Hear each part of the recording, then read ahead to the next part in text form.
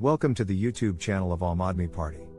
On this channel, we discuss important issues faced in the country and issues concerning the people of India.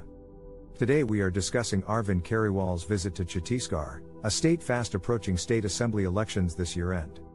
Delhi Chief Minister, and also the national convener of Aam Aadmi Party, Arvind Kejriwal, recently addressed a rally of AAP workers at Jora ground on the outskirts of Raipur.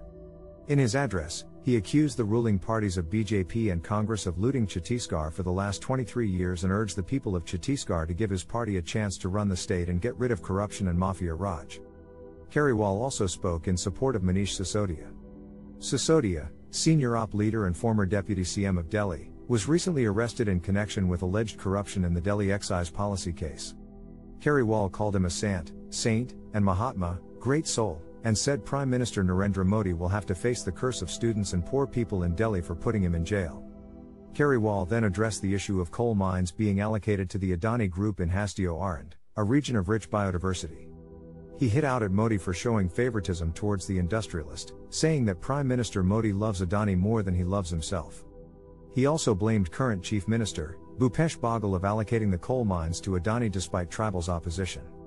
He said it was clear Adani was not only favored but also enjoyed the support of the ruling parties.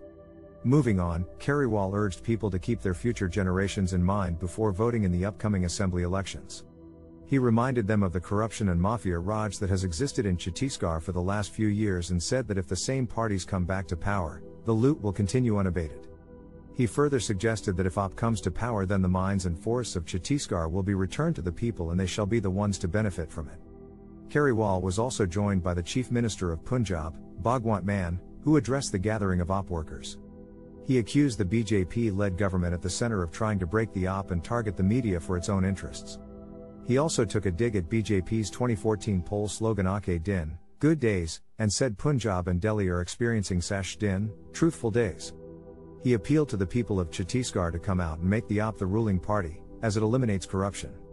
So, folks, what do you think? Will Chhattisgarh's voters give the Aam Aadmi Party a chance this year end? Do you think the AAP will be able to bring change in the state? Let us discuss this in the comments section below. And don't forget to like and subscribe to our channel for more updates. Thanks for watching.